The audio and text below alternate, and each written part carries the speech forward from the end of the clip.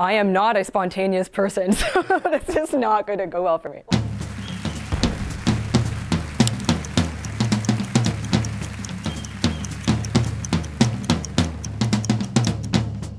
I'm Lieutenant Commander Meghan Marsaw. I'm a public affairs officer with the Royal Canadian Navy, and I'm here to do the 60 seconds challenge. Ready?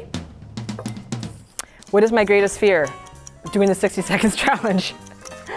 what advice would you give women considering a military career? Do it today, you'll not regret it.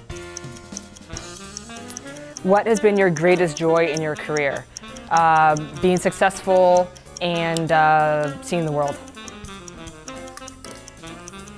Why did I join the Canadian Armed Forces? I joined for adventure, I joined for an education, I joined for the challenges. High heels or Oxford in uniform? Well, I never wear my skirt, so Oxfords. What would, what would you have been if you weren't in your current career? I probably would have been a scientist, which is funny because I'm a public affairs officer.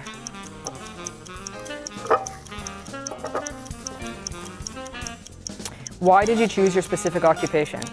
I chose my specific occupation because I do enjoy communicating with people. I like working on a team, and I think there's some great stories that need to be told. And we're done.